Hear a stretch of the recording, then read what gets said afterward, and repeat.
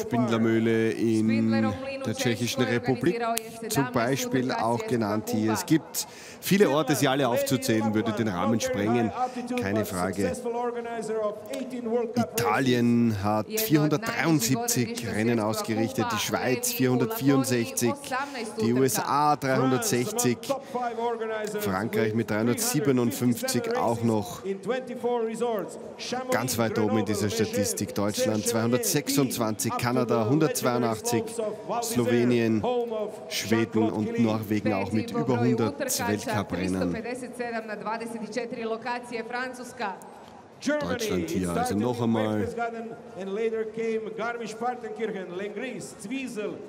Zwiesel, Garmisch und noch viele mehr Austragungsorte in Deutschland. Bavarska je uglavnom bila domaćin njemačkih utrka, čak 226 utrka na 13 lokacija. Weltcup-Ausrichter, gestern ja der Slalom der Damen, morgen eben jener der Herren mit dem Mehrfachsieger Marcel Hirscher, der heute in Zagreb angekommen ist.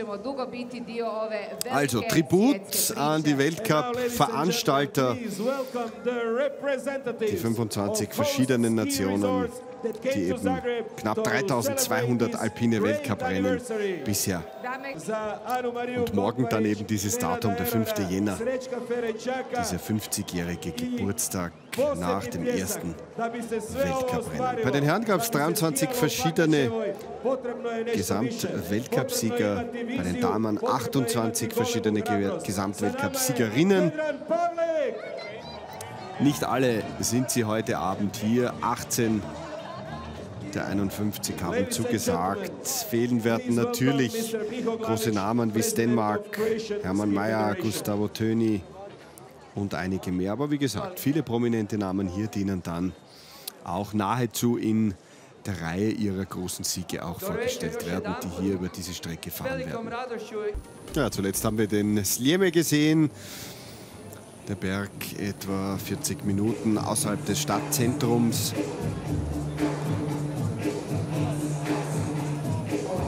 Größte Stadt Kroatiens, Zagreb, Hauptstadt mit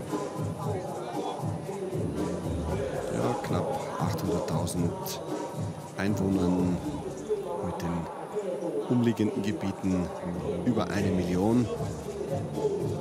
Und das ist eben das Stadtzentrum, in dem diese Feier stattfindet.